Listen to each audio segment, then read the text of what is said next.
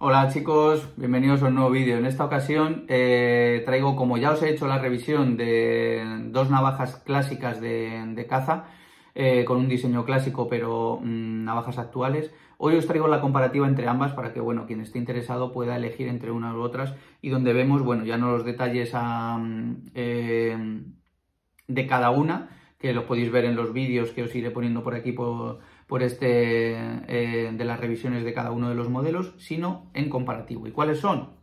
La VAC 112 y la muela 25M, ¿vale? Dos navajas con diseños clásicos de, caza, que cortan muy bien, que están muy bien y que bueno, pues cada una tiene sus pros y sus contras que vamos a ver en este vídeo. Así que nada, no me entretengo más y vamos a ver estas dos navajas. A ver, que lo cojo así para no cortarme. Esperar un momento. Estas dos navajas con sus dos fundas de cuero, ¿vale? Venga, vamos a verlo, chicos.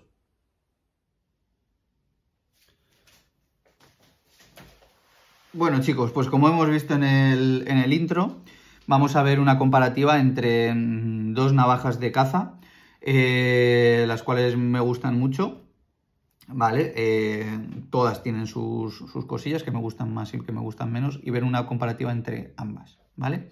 para la gente que esté buscando y demás y busque una referencia en navajas mm, clásicas con un estilo puro de, caza de toda la vida, que luego navajas de caza hay muchos tipos, ¿vale? Pero con este diseño más clásico, pues creo que estas dos son dos buenas opciones.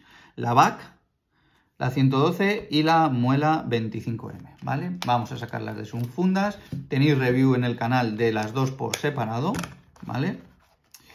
Y, bueno, ¿qué deciros? Las fundas. Bueno, pues mirar, la back con respecto a la muela, pues tiene una funda eh, más grande y más predominante, más ancha, ¿vale? Porque también la navaja así lo es, es más contundente y más grande. Y bueno, en cuanto a tamaño de largo, son más o menos similares. Eh, el estilo, mm, aquí está la trevilla está cosida por los dos lados, algo que me gusta menos con respecto de la VA, que es una trevilla típica de, la, de, los cuchillos, ¿vale? Esto me gusta más porque tira solo de un lado donde está cosido. Bueno, aquí también está cosido, pero es más fácil meterlo por una presilla de, un, cinturón. Posiblemente el ancho del cinturón que permita la VAC esté penalizado. Sí, está penalizado el ancho de cinturón que te entra en la VAC, ¿vale? Fijaros, con respecto a la, a la muela, ¿vale? Pues nada, tiene sus cosas. Eh, me gusta más este tipo de diseño de trebilla, más que este. Este permite un cinturón más ancho y este mm, no tanto, un cinturón más estrecho. Por lo demás, dos fundas interesantes, ¿vale? También esta tiene mayor grosor por el tipo de eh, trabilla. Las dos con sus logos de muela y de back, eh, sus automáticos que abren y cierran muy bien. Bueno, y un detalle que me gusta de la funda de la VAC es que aquí en los empieces de la, costura lleva un, remache ciego, ¿vale? Eh, la muela va totalmente. Esto cuando se empieza a deshilachar, pues mm, que lleva aquí un remache es un detalle importante de durabilidad en cuanto a la, funda. Por lo demás, muy buenos acabados y muy buenas fundas, ¿vale? Ponemos así y las ponemos en un lado y ahora ponemos en centro, en, delante las navajas. A ver, voy a poner así para que las podáis ver. A ver, esta correspondería así. Bueno, pues estas las vamos a poner así, ¿vale? Aquí las tenemos. Las dos, eh, en cuanto a su, bueno, las características y tamaños y demás, eh, esos detalles los tenéis en las reviews, ¿vale? Vamos a verlas a nivel general y las diferencias entre una y otra.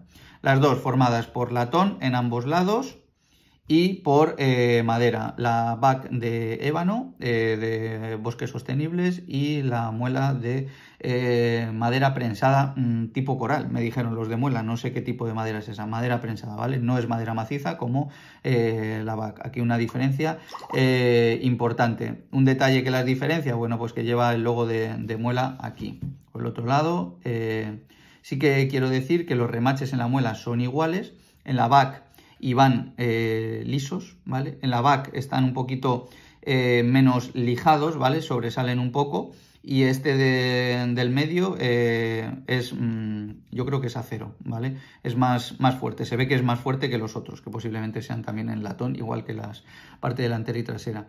El latón me gusta más el envejecido y el acabado que tiene la back con respecto a la, a la muela, ¿vale? Los dos, las dos con backlock como sistema de cierre principal. Y un detalle importante, fijaros, cuando se hablaba de la muela, os decía que le faltaba profundidad, o sea, le, le faltaba grosor en la cacha. Fijaros la diferencia entre una y otra. A ver, la voy a poner así, para ver si con el contraste de mi mano se ve. Fijaros. Entre una y otra. O sea, es como... Eh, la back es como dos veces más gruesa que la, muela, lo que, le, falta a la muela en la cacha, ¿vale? Eh, es un detalle importante. En cuanto a grosor, pues el grosor obviamente de la, del acero que forma la parte que se dobla de, la hoja eh, son iguales, más o menos, ¿vale? En cuanto a grosor del latón y de la cacha, pues eh, mm, creo que es bastante mejor el de, la, el de la. En cuanto a las hojas, ahí las tenéis. Un diseño similar, ¿vale? Similar. ¿Por qué? Porque es un estilo clásico de, hojas. El filo de la back, si os fijáis, es más recto y el de la muela es más curvo, más asfalcatado. Eso es importante. Eh, en cuanto las dos tienen su mesa, por lo tanto, la muela es más ancha, ¿vale? De hoja que la, que la que es más recta y estilista. El clip point está más pronunciado en la back, con respecto a la muela, que es un poquito más trasero. Vamos a ver la diferencia entre las dos. Fijaros, mm, más o menos ahí. La muela es un poquito como 3 o 4 milímetros más larga, ¿vale? La punta más esterilizada. También tiene que ser así porque es más ancha, entonces si no quedaría muy regordeta, ¿vale? Por eso es un poquito más larga. Más pronunciado el clip point, en este eh, más trasero, más mm, tirando un poco más a, a una hoja tipo como si fuera inglesa. El recazo es superior al de la, el de la back, lo que creo que le da más fuerza a la hoja, ¿vale? ¿Por qué? Porque tiene más grosor. Aquí en la parte que se une, aquí es mm, un recazo más fino. Y luego tienen su mesa superior, ¿vale? Y eh, su acabado eh, cóncavo con un, eh, con un bisel plano. Eh, las dos, para mejorar la, penetrabilidad, eh, tienen su rebaje en la zona del clip point, más un rebaje superior en la muela, ¿vale? Que en la back, lo que le hace creo que también la hoja sea más, más, más fuerte y al ser un poquito más corta creo que es mucho, un poco más, más potente en cuanto a, fuerza. O sea, la sensación de la... Y fijaros, lo que siempre digo, el grosor. O sea, mm, la tengo así, fijaros, ¿eh? La mano no me cierra.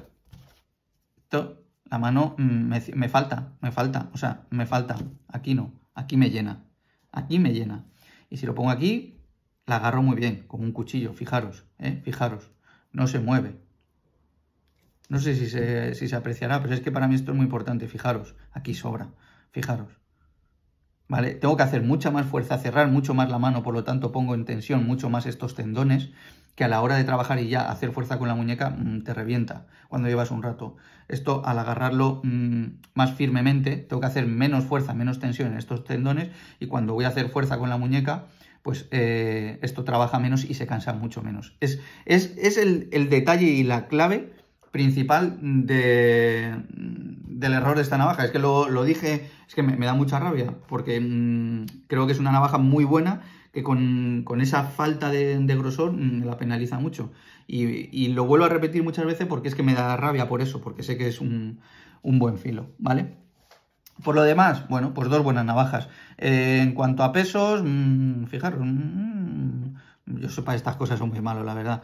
tiene un poco más de peso la, la, la VAC, pero andan un poco muy similares, ¿vale? Al final de la falta de, de de cacha aquí, bueno, pues mm, no sé, habría que pesarlas, ¿vale? las dos tienen su peso atrás, están, creo que están bien compensadas, ¿vale? Para, trabajar. Y por lo demás, bueno, pues mm, muy bien, muy bien. Entre las dos, ¿en cuál me quedo? Bueno, las dos, os vuelvo a repetir, son buenas navajas. Bueno, los acabados, fijaros. Lo que os decía en la, en la muela, en la revisión de la muela, que esto Mm, pica, mm, no está, no está rematado, o sea, no está, puede estar rematado, pero lo han dejado en vivo. Y creo que no esto, este sí está. Está su pico, ¿vale? Pero no molesta. Este, este, este, hace daño. O sea, que cuidado. ¿Vale? Ese, detalle es importante. Eh, mis conclusiones finales, creo que las dos son muy buenas navajas, los precios están oscilando, ¿vale? Esta viene con su funda, lo que os decía en la revisión de esta, que mm, sería un complemento perfecto, aunque se pagaran las dos, el, el, precio fuera el mismo cuando las compra por separado, pero que viniera junto, este lo trae junto, ¿vale? Y al final el precio de este conjunto, que lo compras en un solo paquete, al precio de este conjunto que lo compras en dos paquetes porque vienen por separado, ¿vale? Tienes que comprarlo por separado, eh, ronda el mismo. En cuanto a esto, eh, ¿cuál elegiría de las dos? Bueno, pues eh, obviamente me gusta tirar para casa y me gustaría elegir la muela, pero no puedo por, por, ser un fabricante español, ¿vale? Y al que le tengo mucho aprecio y cariño, pero no puedo por el tema de que mm, si yo fuera eh, un cazador y la voy a utilizar para caza, me quedaría con esta simplemente por el tema de a la hora de trabajar, ¿vale? Por lo demás, dos muy buenas navajas, dos cortantes excelentes, ¿vale? Mm, varían un poquito el tema del filo, ahí ya un poquito más de lo que os guste. Yo he trabajado con las dos y las dos eh, actúan muy bien, así que eh, ya cada uno lo que le guste o lo que, lo que esté interesado. Son dos navajas míticas, ¿vale? No sé si Muela eh, volverá a sacar eh, este modelo o hará un modelo nuevo, lo que sea. Espero que en el modelo nuevo, obviamente, eh, esa penalización, fijaros el, grosor, en la escalera que hay, la trabaje, ¿vale? Yo mm, hablé con ellos y se lo dije, digo, sería interesante que tuvierais en consideración el darle un poco más de grosor, porque he visto que mm, a mí me falta. Puede haber otras personas que, obviamente, que diga, no, no, pues es que a mí me gusta, sí, yo prefiero que sea más fina. Perfecto, no digo nada, ¿vale? Cada uno tiene sus gustos. A mí me gusta más mm, que me llene, que me llene. Y poder trabajar a gusto, porque al final es lo que hago, trabajar con, los filos, ¿vale? Así que nada, chicos, espero que os haya gustado esta comparativa, esta revisión, para alguien que esté interesado, cazadores que busquen eh, navajas clásicas de, caza con un diseño clásico y unos acabados, bueno, pues eh, similares. Tenéis una opción eh, internacional, extranjera, ¿no? En este caso americana, y una opción nacional. Tenéis otras navajas y otros modelos, ¿vale? Os enseño esto porque son las que tengo de este tipo. Eh, manufacturas muela, muela por un lado a nivel nacional y back eh, a nivel internacional en Estados Unidos. Elegid la que queráis, elegid la que os gusten porque las dos cortan excelentemente y las dos son buenas navajas. Unas tienen sus pros, otras tienen sus contras, unas tienen sus contras, o sea, unas tienen sus pros y otras tienen sus contras. Ahí dejo eh, cada uno decida lo que quiera a su gusto. Así que nada, un abrazo muy fuerte y nos vemos en el siguiente vídeo. Chao.